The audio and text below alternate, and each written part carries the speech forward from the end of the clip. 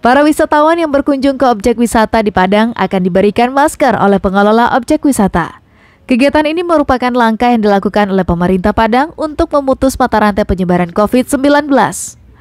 Saat libur Natal dan Tahun Baru, petugas juga akan memeriksa para pengunjung yang datang ke objek-objek wisata.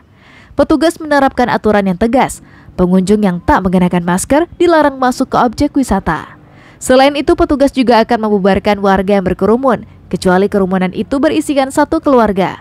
Bagi yang melanggar, petugas akan menindak sesuai dengan peraturan daerah adaptasi kebiasaan baru yang berlaku di Sumatera Barat.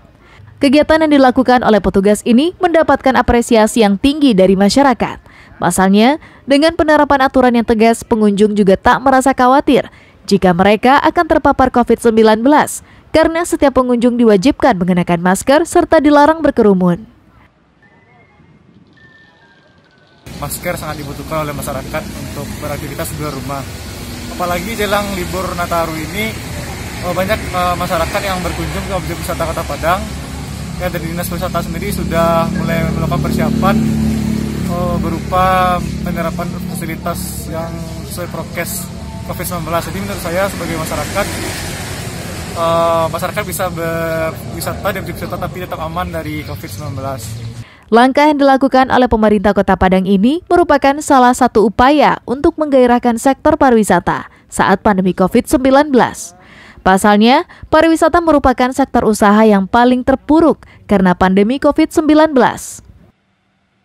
Dia menyampaikan kepada masyarakat ke tempat dia berkunjung, maka kita mengharapkan pengunjung wisatawan kembali ke Kota Padang.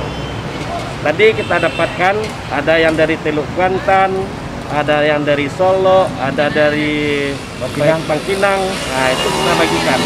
Mudah-mudahan dengan protokol kesehatan kita di tiga destinasi, dia menyampaikan Masa Padang sudah melaksanakan program CHSE, Clean, Health, uh, Safety, kemudian Environment. Sosialisasi serta memberikan masker kepada pengunjung objek wisata akan dilaksanakan secara terus-menerus hingga tanggal 1 Januari mendatang. Pemerintah berharap dengan sosialisasi yang gencar, kesadaran masyarakat semakin bertambah dan bisa memutus mata rantai penyebaran COVID-19 di Padang. Alfi melaporkan dari Padang.